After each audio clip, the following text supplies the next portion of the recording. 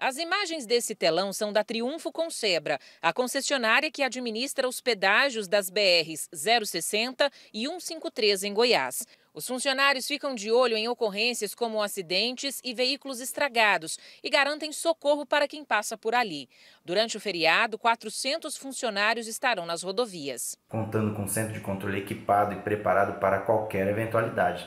Tudo isso funcionando 24 horas por dia. Para socorro, basta ligar 0800 060 6000.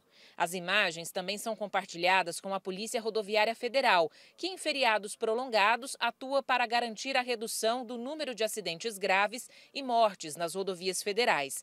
A Operação Proclamação da República, da PRF, começou na última sexta-feira e vai até o fim da tarde do feriado, dia 15 de novembro. Nossos policiais estarão em campo para fiscalizar todas as infrações possíveis e essa é uma das mais preocupantes. É, dirigir alcoolizado é um fator preponderante para muitas mortes e para muitos acidentes graves. Nas rodovias estaduais, o reforço de policiais nas barreiras começou no sábado e vai até terça-feira. A expectativa é de movimento tranquilo. Mesmo assim, os motoristas precisam fazer a sua parte.